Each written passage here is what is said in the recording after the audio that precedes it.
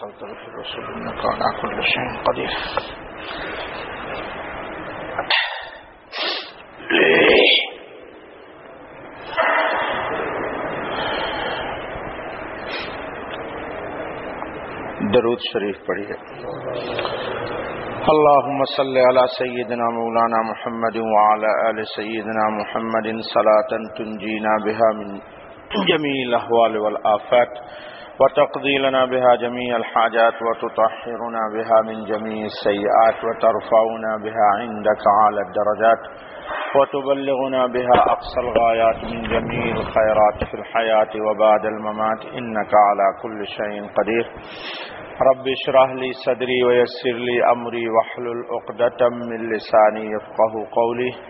वहलुल उक़दतम मिन लिसानी यफ़क़हू क़ौली रब इशराह ली सदरी वयस्सिर ली अमरी वहलुल उक़दतम मिन लिसानी यफ़क़हू क़ौली रब इशराह ली सदरी वयस्सिर ली अमरी वहलुल उक़दतम मिन लिसानी यफ़क़हू क़ौली या हय्यु या क़य्यूम बिरहमतिक अस्तगीस वला तकिलनी इला नफ्सी तरफत ऐनिन वला अक़ल्ल मिन ज़ालिक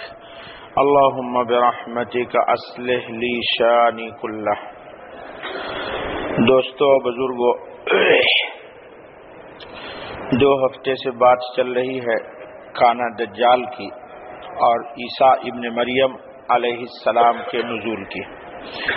काना दज्जाल की अलामतों में से बहुत सारी अलामतें आपके सामने आई हैं और बुज़ुर्गों ने उस पर मुस्तकिल किताबें लिखी हैं, कलाम किया है। मेरे पास ये अरबी किताब है। बहुत सारे लोग पूछते रहते हैं, उनकी ख्वाहिश होती है कि वो भी मुताला करें। तो इसी किताब का तर्जुमा पाकिस्तान में मौलाना मुफ्ती मोहम्मद शफी साहब रहमतुल्लाह अलैह के साहिबजादे मौलाना मोहम्मद रफ़ी उस्मानी ने इस किताब का तर्जुमा किया है, उसका नाम है अलामत क़यामत। आप में से जो लोग उर्दू में पढ़ना चाहते हो तफसील इसकी तो अलामात क़यामत मौलाना मोहम्मद रफ़ी उस्मानी की मंगवा लीजिए और पूरी किताब पढ़ डालिए। ये जो मैं अलामतें बता रहा हूँ आपकी, इनमें तमाम अलामतें नहीं आई हैं। मुख्तलिफ़ हदीस में मुख्तलिफ़ अवकात पर रसूल अकरम वसल्लम ने काना दज्जाल की अलामतें बताई हैं। लेकिन मेरी कोशिश यह है कि बेशतर अलामत आपके सामने आ जाए। देखिए, इसमें एक बात और भी जहन नशीन रखना चाहिए। कि इन हदीस के अंदर या इन बातों में शक को शुभा नहीं करना चाहिए। बहुत सारे लोग कहते हैं कि मौलाना काना दज्जाल का आना यकीनी है।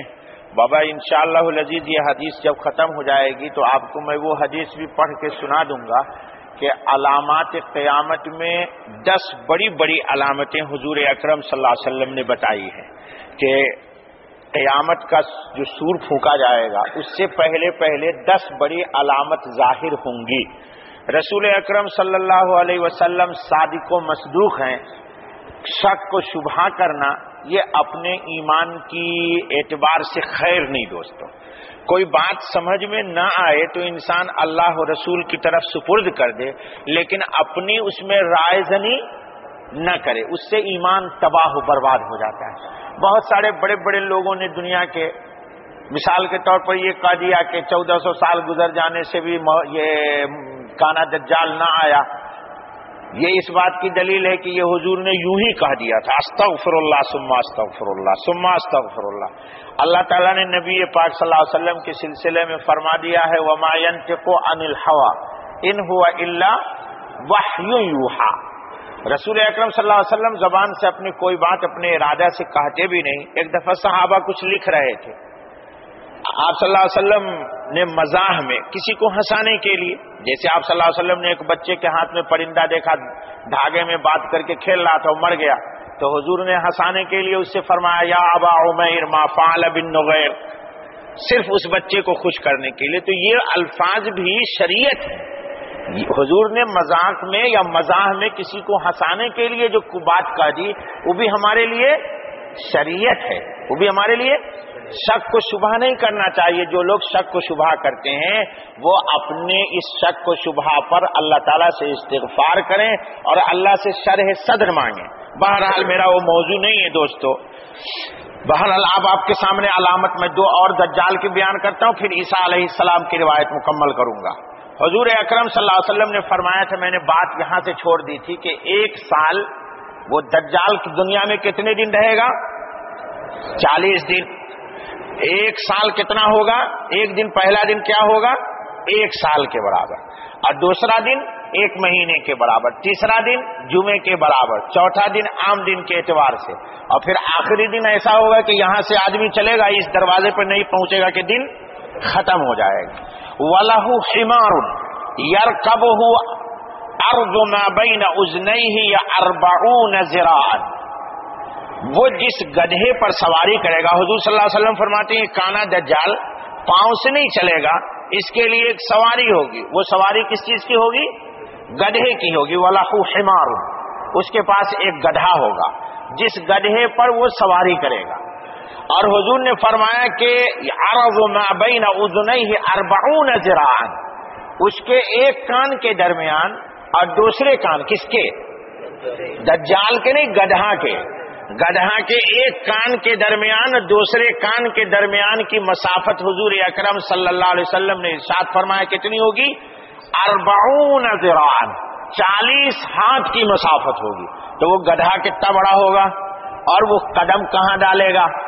जी क्योंकि वो पूरी दुनिया के अंदर चक्कर लगाएगा सिवाय मदीना मनवरा और मक्कतुल मुकर्रमा के। अब सुनिए उसका एक और फितना। वो जब ये कहेगा कि अना को मैं तुम्हारा रब हूँ, मैं तुम्हारा रब हूँ। हालाँकि काना रब हो ही नहीं सकता। तो हुजूर सल्लल्लाहु अलैहि वसल्लम फरमाते, सुनिए बहुत गौर से इस बात को सुनिएगा। आज काना दज्जाल आ जाए ना तो इस मजमे में मेरे कितने लोग बैठे हुए हैं? कितने लोग उसका साथ दे देंगे? बहुत कम लोग बच सकेंगे। इसीलिए मैंने कहा था कि काना दज्जाल अगर आ जाए तो शौकिया भी उसको देखने की तमन्ना न कीजिएगा।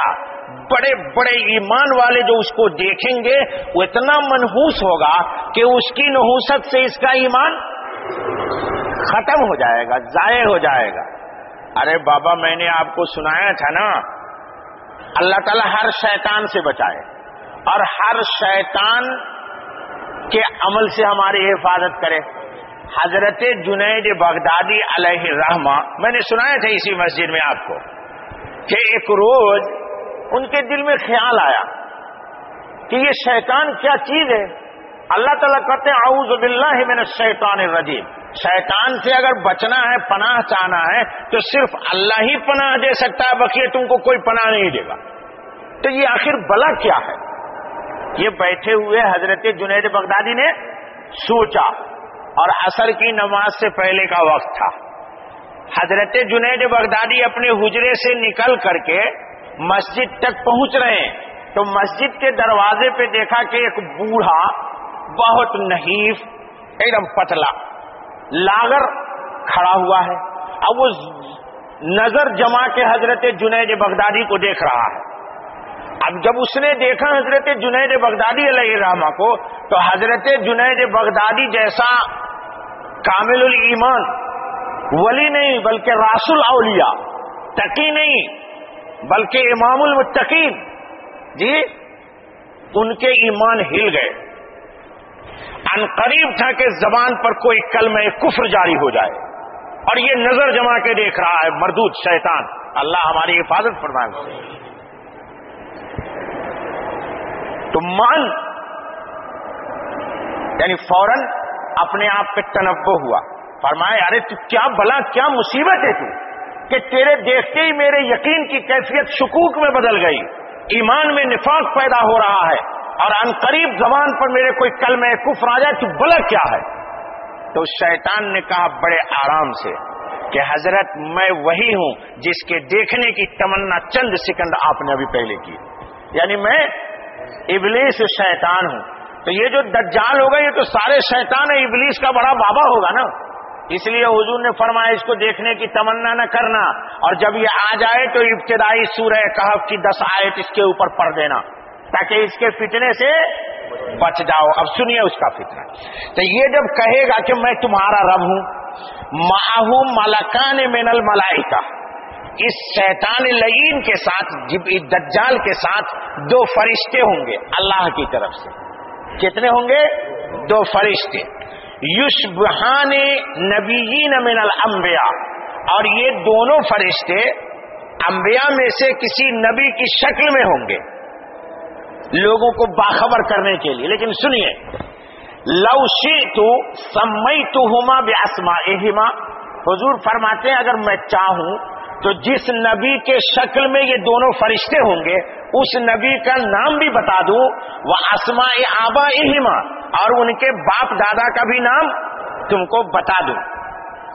अच्छा बाबा, अन यमी वाहिदुम मिन हुमा अन यमीन ही वल आखर अन यसारी ही एक फरिश्ता अल्लाह की तरफ़ से इस काना दज्जाल के दाहिनी तरफ़ होगा और एक फरिश्ता इस काना दज्जाल के बाई तरफ़ से होगा। क्यों होगा? ये जो मरदूद लईन कहेगा कि अना रब को मैं तुम्हारा रब हूँ। अब सुनिए इसका फितना इस मरदूद का। जल्दी न कीजिए। वजाल का फितना तुल फयाकुल दज्जाल अलस्त बेरबिकुम दज्जाल कहेगा लोगों से, मैं तुम्हारा रब नहीं हूँ। अलस्त उही व उम्मीद पीछे रिवायत गुजर चुकी है कि एक शख्स को बुलाएगा और आरा से, आरी से उसको चीर देगा। ज़िंदा करेंगे उसको अल्लाह और ये मरदूत कहेगा, इसको ज़िंदा किया? मैंने। इसके ज़िंदा करेंगे कौन? अल्लाह पाक। और ये मरदूत कहेगा, इसको ज़िंदा किया? मैंने एक फितना ये होगा तो जब ये कहेगा कि मैं तुम्हारा रब हूँ, मैं ज़िंदा करता और मारता हूँ, फयाकुल अहदुल मलकई ने कजबता। ये जो दाहिनी तरफ़ वाला फरिश्ता होगा, ये कहेगा कि तू झूठ बोलता है। ये कहेगा ना, मैं रब हूँ। तो ये फरिश्ता कहेगा कि तू झूठ बोलता है। अल्लाह अकबर। मा यसमाहू अहदुम मिनन्ना से अल्लाह साहिब ला इस आवाज़ को दज्जाल बोलेगा, मैं तुम्हारा रब हूँ। ये फरिश्ता कहेगा कि तू झूठ बोलता है। और इस आवाज़ को फरिश्ते के लोग नहीं सुनेंगे, सिवाय इस फरिश्ते के। समझ लो बात को। दज्जाल बोलेगा कि मैं तुम्हारा रब हूँ। और ये रब होगा नहीं तो ये फरिश्ते दाहिनी हाथ वाले कहेंगे दज्जाल को कि तू झूठा है। इस आवाज़ को कोई भी नास, कोई भी आदमी नहीं सुनेंगे। कौन सुनेगा? सिर्फ़ बाई तरफ़ का फरिश्ता। देखो ये भी इसका फितना है कि इस आवाज़ को लोग नहीं सुनेंगे सिवाय फरिश्ते के। अब सुनिए। फयाकुल सदकता। ये बाई तरफ़ वाला फरिश्ता कहेगा, इस फरिश्ते के जवाब में कि तूने सच कहा कि ये रब नहीं है। तो इस आवाज़ को जो ये फरिश्ता कहेगा बाई तरफ़ वाला कि तू सच बोलता है, इसको लोग सुन लेंगे। इसको लोग तो लोग क्या समझेंगे कि शैतान मरदूद ने कहा कि मैं तुम्हारा रब हूँ, और इस फरिश्ते ने तस्दीक कर दी कि तू हालाँकि ये फरिश्ता इस दज्जाल की बात की तस्दीक नहीं करेगा। किसकी तस्दीक करेगा? इस फरिश्ते की तस्दीक करेगा। समझ में आ गया नहीं समझ में आया? नहीं तो मैं फिर दोहराऊं। ये दज्जाल कहेगा कि मैं तुम्हारा रब हूँ। ये लोग सुन लेंगे। ये दाहिनी तरफ़ का फरिश्ता कहेगा कि कजबता तू झूठ बोलता इस आवाज़ को लोग कौन सुनेगा? सिर्फ़ ये फरिश्ता सुन लेगा। ये फरिश्ता कहेगा इस फरिश्ते के जवाब में कि तूने सच कहा कि ये रब नहीं है। इसकी आवाज़ को लोग सुन लेंगे। लोग ये समझेंगे कि मरदूद ने, दज्जाल ने कहा था कि मैं तुम्हारा रब हूँ। इस फरिश्ते ने तस्दीक कर दी कि ये तुम्हारा रब है। अल्लाह अकबर। समझ में आया? ये क्या होगा दोस्तों? क्या होगा? ज़ोर से बोलिए। अरे बाबा, ये तकरीर नहीं कर रहा हूँ। आपको किसी मकाम पर पहुँचा रहा हूँ। तकरीर तो करना नहीं, दर्श देना है, लोगों को बाखबर कर देना है। ये क्या होगा? फितना। क्या होगा? जैसे कि मैंने आपको किसी पिछले हफ़्ते सुना दिया था कि दो शैतान एक आदमी के माँ बाप की शक्ल में आएँगे और कहेंगे कि, बेटा, इसको मान ले, मैं तुम्हारा माँ हूँ मैं तुम्हारा बाप हूँ। हालाँकि वो शैतान होंगे। तो ये भी इस दज्जाल का फितना है। फयस महाउन्नास फयजुन्नून, लोग गुमान करेंगे इन नमायुसद्दजाल कि ये फरिश्ता भी तस्दीक कर रहा है कि ये दज्जाल रब है। ला इलाहा इल्लल्लाह मुहम्मद रसूलुल्लाह। वजाल का फितनतुन। और ये क्या होगा? एक फितना होगा। ये क्या होगा? फिर उसके बाद वो मदीने में जाना चाहेगा तो वहाँ फरिश्ते जाने नहीं देंगे। अब आइए ईसा सलाम की तरफ़। तो ईसा सलाम इसको कहाँ कत्ल करेंगे? पिछले हफ़्ते बता दिया था। जी? नो बाबा। लुड लुड। लाम, दाल, पेश। इसको तो याद कर लो। ये कोई थोड़े ना उल्टा पेश हर्फ है। लाम, दाल, पेश। लुड। जहाँ मौजूदा इसराइल का एयरपोर्ट है। लुड के दरवाजे पर ईसा इस्लाम उसको कत्ल कर देंगे। खलास, चालीस दिन से ज़्यादा ये बेटा दुनिया में नहीं रहेगा। फयकून ईसा इबन मरियम फ़ी उम्मती हकमन अदलन। उसके बाद ईसा सलात व तस्लीम इस उम्मत में इंसाफ के साथ अदल के साथ इस उम्मत के अंदर एक हाकिम होंगे। फैसले तमाम के तमाम होंगे अंबियाए बनी इसराइल से, लेकिन फैसले तमाम के तमाम शरीयत मुहम्मदी के एतबार से फैसले करेंगे। ये भी इस उम्मत का एजाज है। अच्छा दोस्तों, दरमियान में मैं एक बात बता दूँ आपको। एक बात बता देता हूँ। ईसा सलात व तस्लीम तमाम यहूदियों का सफाया कर देंगे।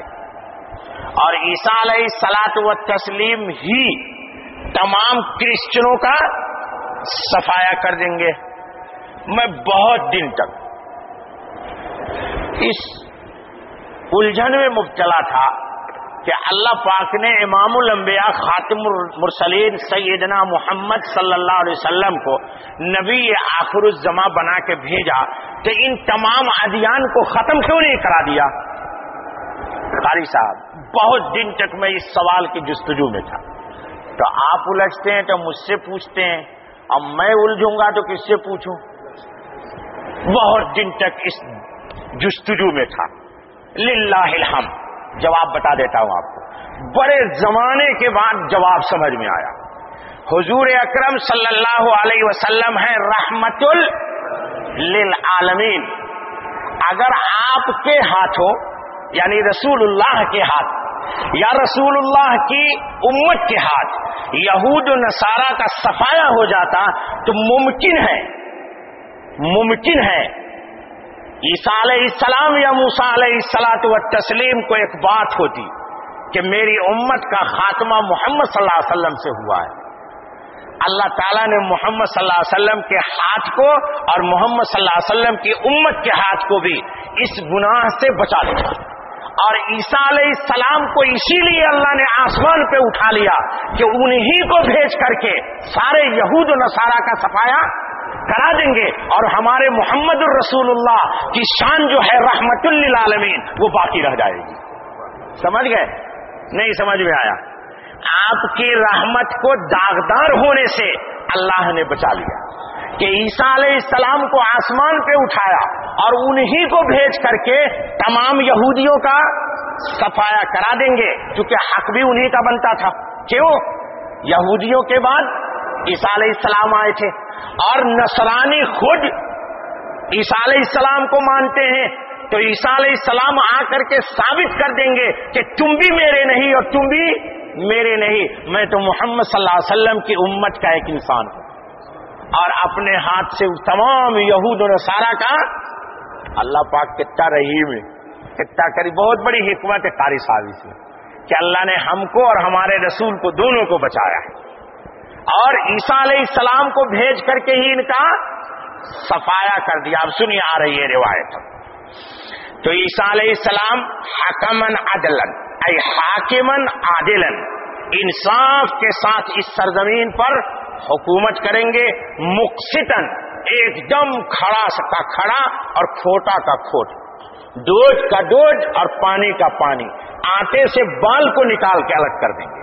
किसी किस्म का कोई झोल शरीयत में बाकी नहीं रह जाएगा। इतना इंसाफ कर देंगे। वह दुख को सलीब। आज आपने देखा होगा कि बहुत सारे क्रिश्चियन गर्दन में सलीब लगाते हैं। सलीब मीनिंग क्रॉस एक बात और बता दूँ, बतौर तंबी के। हमारे हाजी लोग बेचारे हज के लिए जाते हैं। मकामात मुकदसा मक्का, मदीना मनवरा यहूदियों की और नसरानियों की बहुत बड़ी शादी से कारी साहब। जानेमाज लोग वहाँ से खरीद के लेके आते हैं। तुर्की में जानेमाज बनता है या चाइना में बनता है। ये बनाने वाली फैक्ट्रियाँ और कंपनियाँ हैं नसारा। समझ गए? बनाने वाली कंपनियाँ हैं नसा, नसराना की, नसारा की, क्रिश्चियनों की। वो मेहराब में जो बनाते हैं मेहराब सजदे की जगह हमारे, उसमें गुंबद भी बना देते हैं और गुंबद पर सलीब लगा देते हैं। हमारे लोगों को पता भी, हम लोग समझते हैं, भाई मदीने से मैं जानमाज खरीद के लेके जा रहा हूँ। मक्के से यकीनन मुबारक जगह है बाबा, इसका इनकार कौन करेगा? लेकिन इस तलबीस से या उनके डजल से आप होशियार रहिए। ऐसा जानमाज न खरीदिए कि जिसमें सलीब सलीब बना हुआ हो। सलीब समझते हैं? सलीब कैसा होता है? क्रॉस नहीं, बाबा ये देखिए उंगली है, इस अंगुली में इतना सा हिस्सा जोड़ दीजिए आप ये सलीब है। उनका अकीदा यह है कि मुसलमानों को भी सलीब के सामने झुका दो और हमारे लोग बेचारे हाजी जो हज करने जाते हैं, उनको पता ही नहीं होता कि सलीब है क्या। फ़र्ज़ कर लो बाबा, एक ये है ना ये, बस यहाँ पर ऐसी एक काली सी पट्टी लगा दो, ये सलीब बन जाएगा। ठीक है? तो इसका ख्याल कीजिएगा, ईसा सलाम सलीब को तोड़ देंगे। क्या मतलब? अकीद तसलीस को खत्म कर देंगे। ईसा सलाम साबित कर देंगे कि सलीब कोई चीज़ नहीं है, बल्कि मिल्लत मोहम्मद सल्लल्लाहु अलैहि वसल्लम की मिल्लत इस्लाम हक है। मिल्लत इस्लाम, हक है, अकीद सलीब गलत है। और खुद अपने अमल से साबित कर देंगे कि मैं भी एक रसूल अकरम सल्लल्लाहु अलैहि वसल्लम का उम्मती बन करके इस दुनिया में ज़िंदगी गुजारूँगा। अच्छा बाबा वयज बहुल खिंजीर। ये जो गंदा जानवर है, जिसको हमारे पाकिस्तान में लोग कहते हैं कि अगर नाम ले लिया तो 40 दिन तक ये मुँह नापाक रहेगा। हालाँकि ऐसा नहीं है बाबा। कुरान ही में अल्लाह ताला ने कहा है कि खिंजीर का गोश्त हराम है। ठीक है? तो ईसा सलात व तस्लीम खिंजीर को कत्ल कराने का आम आर्डर दे देंगे, ताकि खिंजीर को दुनिया से मिटा दिया जाए। क्यों? इशारा इस बात की तरफ़ होगा कि बेहयाई का खात्मा कर दिया जाए। क्यों? हाय हमारे उस्ताद। वो मौलाना कारी रुकनुद्दीन के भी उस्ताद हैं। और शायद यहाँ अगर होंगे मुलिक कलीमुल्ला तो उनके भी उस्ताद होंगे। मौलाना मेराजुल हक साहब नवर अल्लाह मरकदहू किताब जबाए हमको दारूम में पढ़ाते हुए एक बड़ी प्यारी बात कही थी, वही मैं नकल कर देता हूँ इस हदीस की शरह में। फरमाया कि जिस किस्म का गोश्त खाते हैं लोग वैसे ही इबादत का जौक पैदा होता है। हलाल गोश्त खाने से तबीयत हलाल की तरफ़ रहती है और हराम गोश्त खाने से तबीयत में फसाद पैदा होता है। इसीलिए इस्लाम ने कहा, मजबूहा खाओ। अल्लाह के नाम पर जबा किया हुआ, ताकि तुम्हारी तबीयत गैरुल्लाह की तरफ़ मायल न हो। एक बात।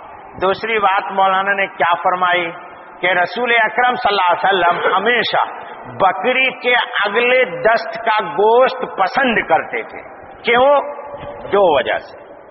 एक तो ये कि शाने का गोश्त जल्द हजम होता है और बकरी जब भी बैठना चाहती है तो अपने दोनों अगले पाँव ज़मीन पे टेक करके फिर बैठती है। यानी अल्लाह के हुजूर में भी बैठने से पहले बकरी अल्लाह को सजदरेज होती है। इसीलिए इमाम लंबिया मोहम्मद रसूलुल्लाह सल्लल्लाहु अलैहि वसल्लम बकरी के अगले दस्त के गोश्त को पसंद किया करते थे। अब बारी आई खिंजीर की। तो फरमाया कि दुनिया में दुनिया में सबसे बड़ा बेगैरत जानवर खिंजीर है। दुनिया में सबसे बड़ा बेगैरत जानवर खिंजीर है। कैसे? फरमाया कि एक नर खिंजीर अगर मादी को क्रॉस कर रहा है तो दूसरा नर खिंजीर बजाय मादी पे मुसलत होने के वो नर को क्रॉस कर देना शुरू कर देगा। फरमाया उसके बाद बगैर किसी तफसील में आपको ले जाते हुए कि जो कौम खिंजीर का गोश्त खाती है देखोगे कि उस कौम की मर्द और औरतों में बेहयाई और बेगैरती तस्वुर से भी ज़्यादा होगी। मैं किसी कौम का नाम नहीं लेता, मस्जिद नहीं होती तो ले लेता। फरमाया कि ये तजर्बे से साबित है कि घर में एक भाई ने अगर शादी कर ली तो बकिए भाई भी अपनी शहवत रानी दूसरे भाई की बीवी से बगैर किसी रोक टोक के वो लोग अदा कर लेते हैं। फरमाया, ये इस खिंजीर के गोश्त की नहूसत है। अब फरमाया कि इस वक्त पूरी दुनिया के अंदर सर्वे कर लो कि जो लोग खिंजीर का गोश्त इस्तेमाल करते हैं, उस कौम में आला दर्जे की बेगैरती और बेहयाई मौजूद है। जिस कौम में भी खिंजीर का गोश्त खाया जाता है, उस कौम में बेहयाई और बेगैरती अल्लाह अकबर, दुबई में उसकी वजाहत करने की ज़रूरत ही नहीं है। आपके सामने माहौल है। इसलिए ईसा इबन मरियम जब आएँगे तो तमाम खिंजीर को कत्ल करने का हुक्म दे देंगे। यानी बेहयाई का दौर खत्म हो गया। मोहम्मद रसूलुल्लाह की शरीयत की इफ्फत, इसमत पाकदामनी गैरत वकार शुजात का दौर आ गया है। इस नापाक जानवर को सफे हस्ती से मिटा दिया जाए। इसलिए खिंजीर के कत्ल करने का हुक्म दे देंगे। कितना वक्त हो गया बाबा? बाकी नहीं भाई घड़ी। बजे चालू हुआ है चार आठ मिनट बाद। चलिए ठीक चलिए बाबा ठीक है। अच्छा बाबा वयाजाउल जिजियता। और जिजिए को खत्म कर देंगे। अल्लामा इब्ने हजर अस्कलानी ने और हमारे शेख अनवर ने, अलही रहमान दोनों ने दो वजाहत की। फरमाते हैं कि कायनात आलम में सिर्फ़ दीन इस्लाम बाकी रह जाएगा। कुफर तो खत्म ही हो जाएगा। अहले किताब जो बाकी होंगे, नसराना या यहूद यहूद तो खत्म हो जाएँगे। ईसा इस्लाम के साथ क्यों? बाबा, मैंने बता दिया था कि चार, कितने? सत्तर हज़ार यहूदी होंगे और तेरह हज़ार औरतें होंगी। यहूदियों की जो लैस होंगी। आप तो अपनी औरतों को मेहंदी लगाइए। यहूदी की औरत भी दज्जाल के साथ आएगी। तेरह हज़ार होगी। खैर तो अहले किताब बच जाएँगे। अब उनके सामने दो रास्ता होगा। या तो इस्लाम या कत्ल। तो जो नसारा इस्लाम को कबूल कर लेंगे तो वो मुसलमान भाई हो जाएँगे हमारे। और जो कबूल नहीं करेंगे कहे तेग ईसा इस्लाम के ज़रिए हो जाएँगे। लिहाजा जिजिया जो मुसलमान हुकूमत को देते हैं गैर मुस्लिम, उसका भी खात्मा हो जाएगा, एकदम खत्म सफाया। पूरी कायनात आलम में सिर्फ़ मज़हब इस्लाम मज़हब इस्लाम अल्लाह का एक सच्चा दीन होने के एतबार से रूए ज़मीन पर बाकी रह जाएगा और उसके हाकिम होंगे इमाम हज़रत ईसा अलैहिस्सलात व तस्लीम। चलिए आगे। वयत्रो को सदका, फला युसा अला शातिन वाला बईरिन। और माल की इतनी रेल पेल हो जाएगी कि कोई भी इंसान किसी से कोई सदका कबूल एक भी सफीर नहीं आएगा। एक भी सफीर अल्लाह का शुक्र है भाई, आकर के ले जा रहे है। ना? जी, हदीस के अंदर है कि एक आदमी अपना सदका लेकर के रोड पे चौराहे पे खड़ा होगा। कोई भी कबूल करने के लिए उससे तैयार, बल्कि जिसको ये कहेगा कि तू ले ले, वो कहेगा, तेरी बड़ी इनायत होगी, मेरा ही सदका तू ले ले। कोई किसी से सदका कबूल करने की कबूल ही नहीं करेगा। माल की फरावानी हो जाएगी। ये अदल इंसाफ का इतना आम जमाना हो जाएगा। माल की इतनी बहतात हो जाएगी। माल की इतनी बहतात हो जाएगी। लोग आएँगे, खजाना खुला होगा, भाई, जितनी ज़रूरत है ले ले तू। कोई किसी से सदका लेने को तैयार नहीं होगा। अल्लाह अकबर, कैसा वक्त हो जाएगा। चलिए बाबा व तुरफाउ सुहाना व तबागुदू आज हमारे दिल, रब्बना ला तुजिग कुलूबना, बाद हदैतना वहब लना मिन लदुनका रहमा। इन्नका अंतल वहाब जी, वला तजअल फ़ी कुलूबिना गिल्लन लिल्लजीना आमनू, रब्बना इन्नका रऊफुर रहीम। अल्लाह हमारे बातिन को गिल और गिश खोट कुदूरत, हसद, कीना, गुरूर, तकब्बुर से बचा ले। परवरदिगार आलम। अच्छा बाबा, ईसा सलाम के आने के बाद कोई भी इंसान किसी भी इंसान के दिल में, किसी भी दूसरे इंसान, ईमान वालों के खिलाफ कोई कुदूरत ये कोई हसद, कोई कीना, किसी किस्म का कोई खोट क्यों? आज हर ताजिर की कोशिश ये होती है कि दुबई में जब कोई ताजिर आए बाहर से तो फ़र्स्ट टाइम वो मेरे पास आ जाए और सारा माल मुझसे परचेज कर ले। क्यों? माल की तलब है है ना?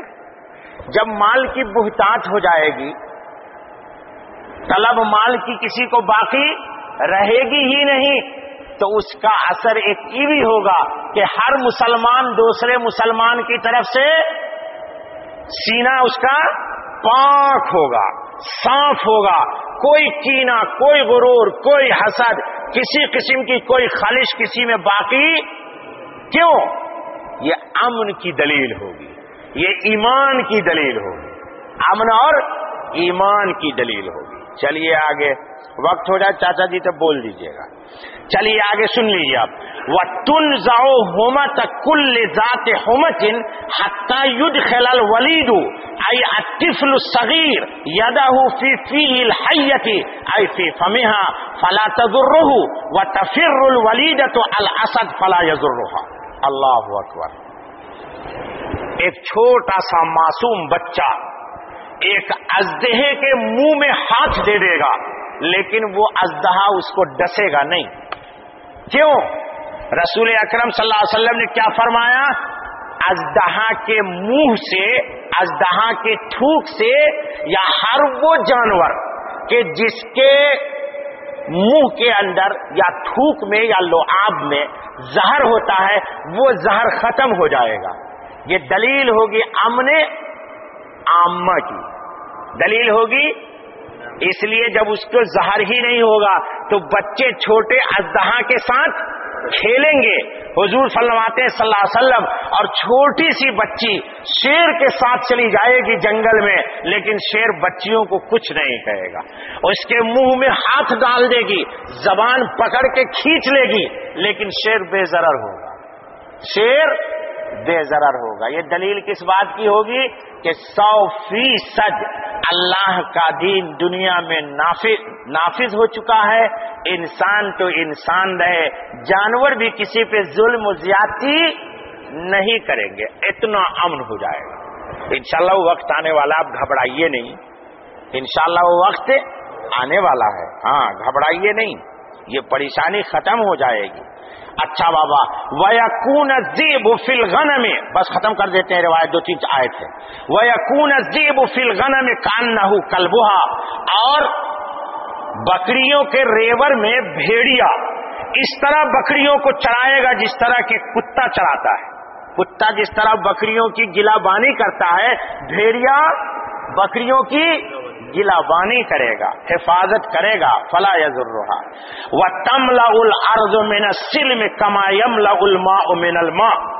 और कायनात आलम अमन अमान से, सलामती से इतना भर जाएगा जैसे कि पानी का बर्तन पानी से भर जाता है।